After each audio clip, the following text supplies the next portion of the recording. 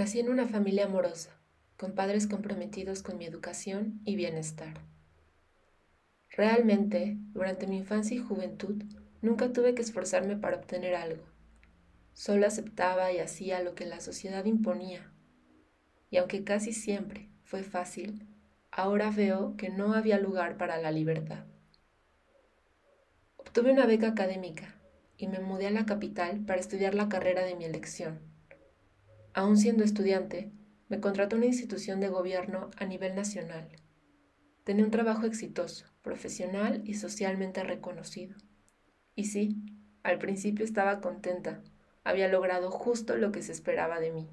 Sin embargo, poco después me surgió decepción, insatisfacción y una ola de preguntas fuera del que creía era mi centro. ¿Por qué he dedicado tanto tiempo a recorrer un camino que no me hace genuinamente feliz? Sin todos los títulos y reconocimientos, ¿quién soy yo realmente? ¿Qué sentido tiene la vida? ¿Y por qué estoy aquí? Estas interrogantes, que al principio intentaba ignorar, culminaron en episodios de ansiedad que me llevaron a tomar fármacos médicamente prescritos. Describir este momento de mi vida es como contar un sueño, como haberlo vivido a través de un filtro de Instagram. Los ansiolíticos me dieron la ilusión de estabilidad, pero cuando terminaba su efecto, regresaba a una insoportable realidad. Me abrumaba pensar que el fármaco suponía una solución desesperada, que se recetaba, vendía y consumía con gran facilidad, pero que ignoraba las consecuencias que estaba provocando en mi organismo. De un día a otro, dejé de tomar las pastillas. Fue al mismo tiempo la peor y la mejor decisión posible.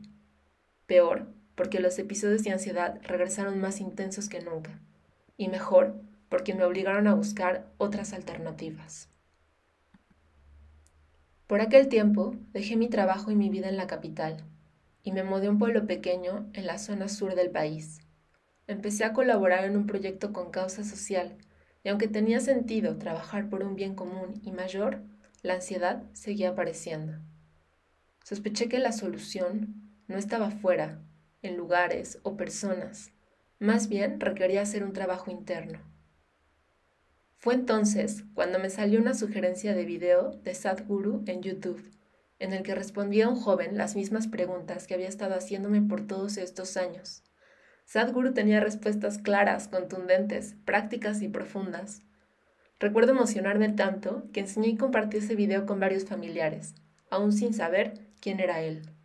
Un video me llevó a otro, y investigar sobre él y su fundación. Sentí un llamado por involucrarme. Aprendí las prácticas ofrecidas en el sitio web, y en la primera oportunidad viajé al Instituto de Isha en Tennessee, primero un programa de Hatha Yoga y al mes siguiente al retiro de Ingeniería Interior. Me maravilló el orden, precisión y disciplina con que se me transmitieron las prácticas. Regresé a casa y por primera vez en mi vida sentí que mi estado físico, emocional y mental no estaba condicionado por situaciones exteriores. Podía yo decidir no reaccionar de manera compulsiva ante los estímulos e intentar ver las cosas como realmente son, dar una respuesta consciente. Entendí que la ansiedad fue fruto de vivir solo desde la mente solo desde lo que había aprendido de la sociedad, acumulando cosas que realmente no era y nunca me harían de verdad feliz. Este camino para mí apenas comienza. Ya tengo las herramientas para aprender un viaje interno de por vida. Mi nombre es Lourdes y esta es mi historia de ingeniería interior.